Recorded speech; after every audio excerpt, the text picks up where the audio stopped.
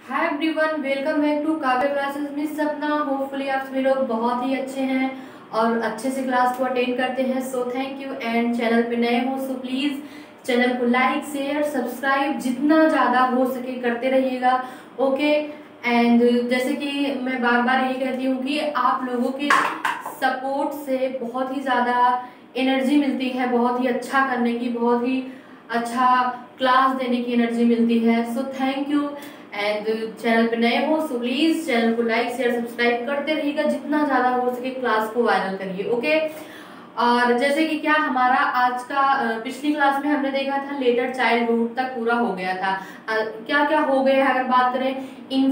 Prenatal stage infancy और early childhood later childhood आज हम बात करेंगे एडोलसेंस किशोरावस्था क्या होती है? क्या किशोरावस्था क्या होती है? बेसिकली इसके बारे में डिस्कशन करेंगे कि किशोरा अवस्था क्या है इसमें क्या चीज़ें होती हैं कैसे इसका आ, मतलब इसकी खोज हुई क्या कैसे है? तो ये सारी चीज़ें हम इस पर डिस्कशन करेंगे। बहुत ही ज़्यादा इंटरेस्टिंग क्लास होगी। आज की भी जो क्लास होगी, बहुत ही ज़्यादा इंटरेस्टिंग होगी। आपको चीज़ें बहुत ही अच्छे से क्लियर होंगी। और यहाँ से क्वेश्चन बार बार पूछे गए हैं। बार बार क्वेश्चन रिपीट हुए हैं। सो यहाँ इस बार सीटेड के लिए तो मोस्ट इंपॉर्टेंट टॉपिक है ये चाइल्ड डेवलपमेंट में। स्टेजेस ऑफ़ डेवलपमेंट बहुत ही मोस्ट इंपॉर्टेंट टॉपिक है। अगर बात करें टॉपिक की तो बहुत ही ज़्यादा इंपॉर्टेंट टॉपिक है। अब आइए देखते हैं, आइए क्लास को कंटिन्यू करते हैं ओके तो जैसे कि क्या हमने आपको क्या बताया? आज हम बेसिकली क्या देखेंगे? एडोलसेंस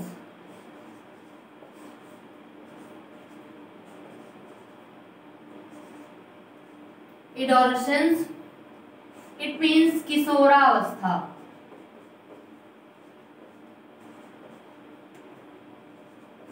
ठीक है? किशोरावस्था. ये एडोलसेंस कैसे लिया गया है? किस शब्द से लिया गया है? तो ये बात करेंगे, ये लैटिन वर्ड है। क्या लैटिन वर्ड है? एडोसियर क्या एडोसियर जिसकी मीनिंग क्या है? Which means to grow maturity that's clear my point क्या कि लिए क्या है एडोसियर which means to grow maturity it means क्या? मेच्योरिटी मीन्स क्या होता है? परिपक्वता. कि ये जो समय होता है, किशोरावस्था में क्या होता है? इंसान परिपक्वता की ओर जाता है. उसके अंदर धीरे धीरे क्या होता है? मेच्योरिटी डेवलपमेंट होती है क्या? मेच्योरिटी डेवलपमेंट होती है, परिपक्वता डेवलपमेंट होती है क्या? परिपक्वता डेवलपमेंट होती है, ठीक है? तो यहाँ तक चीज़ें समझ में आई? मेच्योरिटी की बात करेंगे तो क्या ये परिपक्वता कहते हैं इसे? मेच्योर होना। परिपक्वता। ठीक है? और फिर क्या बताते हैं? एक स्टैनले हॉल यूएसए के साइंटिस्ट हैं, अमेरिका के वैज्ञानिक हैं स्टैनले हॉल, जिन्होंने कुछ अलग ही इसके बारे में एक्सप्लेन किया कि इसे किसका पीरियड क्या कहा जाता है। ठीक है? तो इन्होंने क्या कहा कि देखिए, इन्होंने कहा, adolescence adolescence is the period of stress and storm. It means क्या? कि अगर बात करें कि किसने कहा तो स्टेनले हॉल यूएसए के साइंटिस्ट है। इट मींस अमेरिका के वैज्ञानिक हैं। Stanley Stanley Hall. यूएसए के साइंटिस्ट हैं, ठीक है? क्या यूएसए के साइंटिस्ट हैं जिन्होंने क्या कहा? Adolescence is the period of stress and storm अगर बात करेंगे स्ट्रेस की, तनाव, एवं तनाव एवं तूफ़ान। क्या? कि इन्होंने किसका पीरियड कहा? स्टैनले हॉल ने क्या कहा? तनाव एवं तूफ़ान का समय है। क्या? ये जो किशोरावस्था है, ये तनाव एवं तूफ़ान का समय है। किसने कहा? ये काफ़ी बार पूछा गया है कि स्ट्रेस एंड स्टॉर्म मतलब तनाव एवं तूफ़ान की अवस्था किसे कहते हैं? तो ये आप याद रखिएगा कि इस किसे कहते हैं? एडोलसेंस को कहते हैं। ठीक है? यहाँ तक चीज़ें आपको क्लियर हो गई होंगी। ठीक है? और इसका जो टाइम पीरियड होता है, वो ट्वेल्व टू एटीन ईयर होता है। ठीक? क्या? ट्वेल्व टू एटीन ईयर होता है। ट्वेल्व टू एटीन ईयर होता है। ठीक है? और फिर उसके बाद इसमें प्योरिटी बहुत जल्दी से आती है। मेच्योरिटी बहुत जल्दी से आती है। ठीक है? और फिर इसमें होता है अर्ली अर्ली एडोलसेंस ठीक है?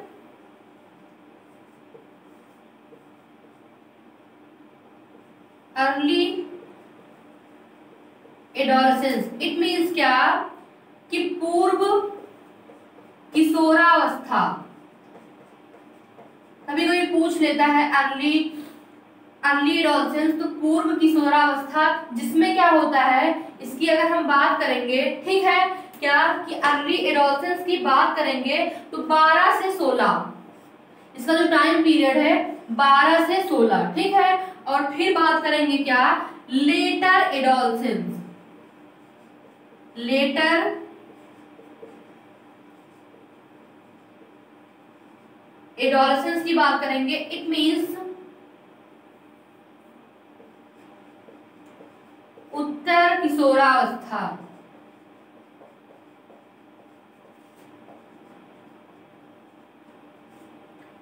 जिसमें हम बात करेंगे उत्तर की किशोरावस्था में 16 से 18 इसका टाइम है। ठीक है 16 से 18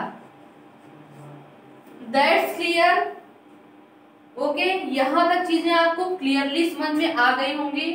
ओके और फिर इसमें क्या देखते हैं कि इमोशनल चेंज बहुत ज़्यादा इमोशनली चेंज होता है। सांवेगिक परिवर्तन बहुत तेज़ी से होता है। क्या? Emotionally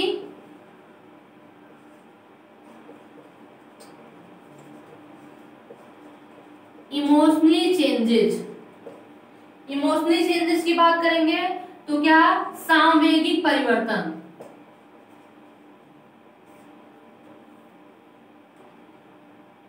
सांवेगिक परिवर्तन.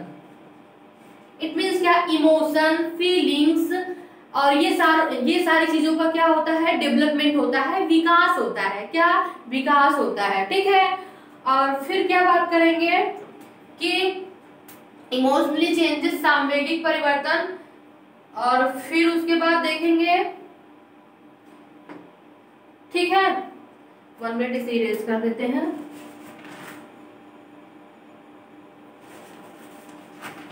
ठीक? हम्म। फिर अब क्या बोलते हैं इसे? ट्रांजिशनल पीरियड भी कहते हैं क्या? ट्रांजिशनल पीरियड इट मींस परिवर्तन का काल। Transitional period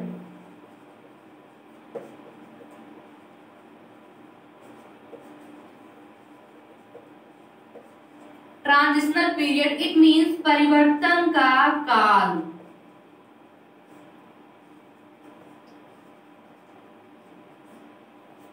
और इसमें पता है क्या होता है? विद्रोह की भावना, बच्चों के अंदर विद्रोह की भावना बहुत तेज़ी से डेवलपमेंट होती है एडोलसेंस में. क्या? विद्रोह की भावना. विद्रोह की भावना का विकास होना.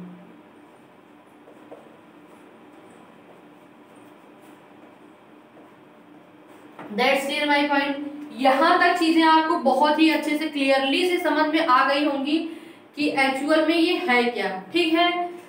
एक्चुअल में ये है क्या। ओके देन हम आप क्या देखेंगे कि देखिए हमने अभी क्या डिस्कशन किया? एडोलसेंस के बारे में हमने डिस्कशन किया जिसका टाइम पीरियड क्या है? 12 से 18 इयर्स क्या?